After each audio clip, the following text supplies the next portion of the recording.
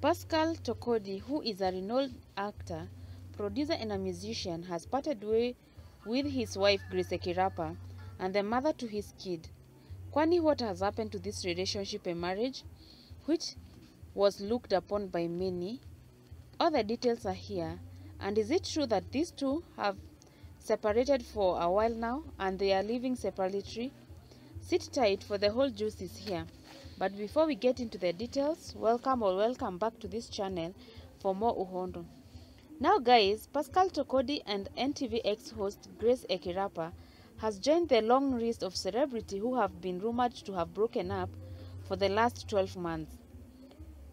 Netizens are now wondering if celebrity marriage and relationship are real or if they are crowd chasing. Pascal and Grace tied knot in a private wedding in 2020 with only invite that attended the wedding. They even never filmed their wedding until one of their friends, secretary, posted that the two were married, which led to Pascal getting angry about it. Now the two have been married for four years and they have been blessed with a beautiful daughter AG. The Tokodi family have been living in Limuru, where Pascal is the breadwinner and Grace is a stay-home mom taking care of the kid and the home. Now, rumors has it that Grace Ekirapa and Pascal Tokodi are living separately for over two months now, as sources has it that the two separated on November 2023. Grace was left at their house in Limuru, while Pascal moved back to his home in Karen, where they had been living together before moving to Limuru. But that is not even worse. What is really shocking is the reason as to why these two separated. I'm sure hata wewe ukisikia you will be shocked. According to a source, the reason as to why these two broke up was because of financial constraints. Grace has been demanding a lavish lifestyle like other celebrity with little consideration of fi Pascal financial capability.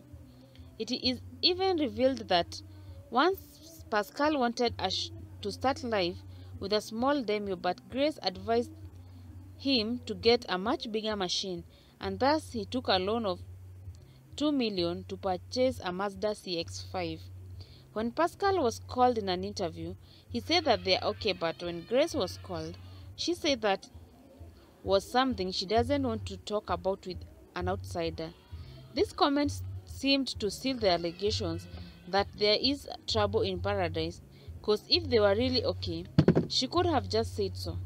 Anyway, we hope that this is just a misunderstanding and everything will go back to normal as soon as possible. That will be all for today's video. Thank you for watching. Like, turn on that notification bell and don't forget to subscribe if you haven't. Until the next Hondo, bye.